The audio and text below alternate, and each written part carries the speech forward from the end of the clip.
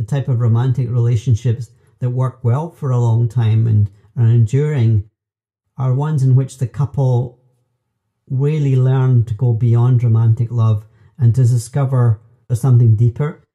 And they use their relationship as the basis for something greater, for reaching out beyond themselves, for allowing the love within themselves to touch the lives of others beyond their immediate circle.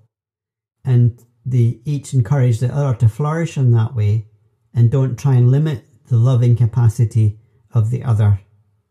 Usually they make a commitment to each other as being the, the primary form of relationship they have, but they let it be a container that radiates outwards to others and isn't limited to just them. So in a sense, such a couple are not living in a way it's us against the world. They're living in a sense of us for the world, us contributing to the greater life. And this is what enables them to have a relationship that endures because it's bigger than just them. And that enables the, the relationship to draw nourishment from outside itself. And they're not like a you know, a couple of plants stuck in a pot together. They're rooted in a greater life. And so they can be more enduring.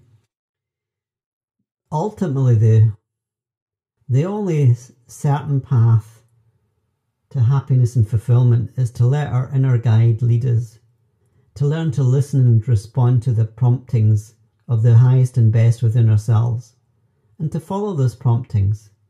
Those inner promptings will sometimes take us into a, a relationship which is in the form of romantic love.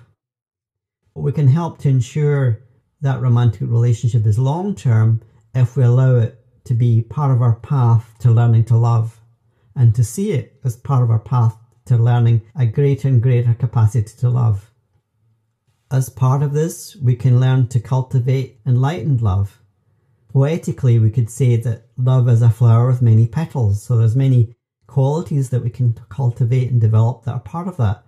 It could be kindness, compassion, appreciation of beauty, art, enjoyment of nature, and of course, learning to love and appreciate more people and learning to love and appreciate more of life. To summarize, then, I would say romantic love is not an illusion, but it can be we're seeing it through illusions. We have illusions about it.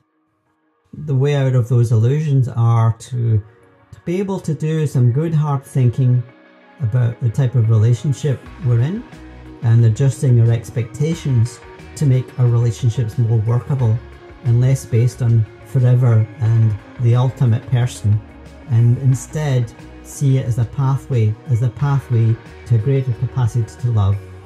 It may well also be that we need to consider the deeper values, the deeper values of the other person we are with, and the deeper values of our own nature possibly adjust our lifestyle and our goals in life so that our way of making a livelihood in the world doesn't cause unnecessary stress to a relationship. Romantic love serves us best when it allows us to reach more unconditional, more universal form of love, not only for this one particular person, but to more people, and to ultimately to fall in love with life itself.